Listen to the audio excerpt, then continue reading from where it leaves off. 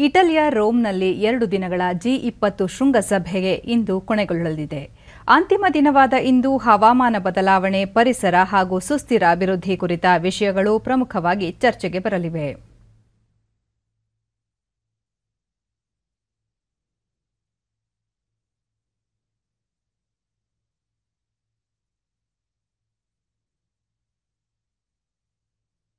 ಫ್ರಾನ್ಸ್ಗೆ ರಾಷ್ಟ್ರಪತಿ मैक्रों के बीच द्विपक्षीय बातचीत हुई है होते हैं उनके और उसमें जो गंभीर मुद्दे हैं क्योंकि देखिए हर मुद्दे पर एक पब्लिक पोजीशन होती है हर देश की होती है और एक इनफॉर्मल प्राइवेट पोजीशन होती है जिसमें कि कुछ कंप्रोमाइज का भी स्कोप होता है उल्लेखनीय है कि वेटिंगन सिटी एक अलग संप्रभु राष्ट्र है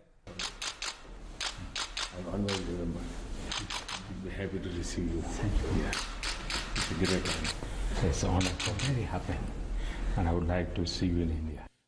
ಶೃಂಗಸಭೆಯ ಸಂದರ್ಭದಲ್ಲಿ ಪ್ರಧಾನಿ ಅವರು ಅಮೆರಿಕ ಅಧ್ಯಕ್ಷ ಜೋ ಬೈಡನ್ ಪ್ರಾಯೋಜಿಸಿರುವ ಸಭೆಯಲ್ಲಿ ಪಾಲ್ಗೊಳ್ಳಲಿದ್ದಾರೆ ಸ್ಪೇನ್ ಪ್ರಧಾನಿ ಮತ್ತು ಜರ್ಮನ್ ಚಾನ್ಸಲರ್ ಅವರೊಂದಿಗೂ ಪ್ರಧಾನಿ ದ್ವಿಪಕ್ಷೀಯ ಮಾತುಕತೆ ನಡೆಸಲಿದ್ದಾರೆ ಎಂದು ವಿದೇಶಾಂಗ ಕಾರ್ಯದರ್ಶಿ ಹರ್ಷವರ್ಧನ್ ಶ್ರಿಂಗ್ಲಾ ತಿಳಿಸಿದ್ದಾರೆ Uh, the last papal visit to India was in 1999 when Pope John Paul II visited India. Uh, the Pope has uh, graciously attended uh, the Prime Minister's, uh, uh, accepted the Prime Minister's invitation, and in his own words, I'm paraphrasing him, he says, You have given me the greatest gift. I'm looking forward to visiting India.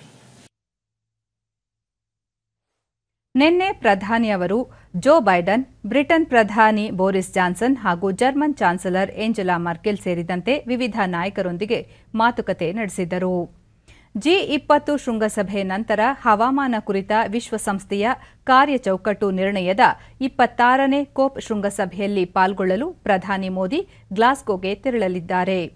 ನಾಳೆ ಮತ್ತು ನಾಡಿದ್ದು ನಡೆಯುವ ಈ ಶೃಂಗಸಭೆಯಲ್ಲಿ ನೂರ ಇಪ್ಪತ್ತಕ್ಕೂ ಅಧಿಕ ದೇಶಗಳ ಮುಖ್ಯಸ್ಥರು ಪಾಲ್ಗೊಳ್ಳಲಿದ್ದಾರೆ.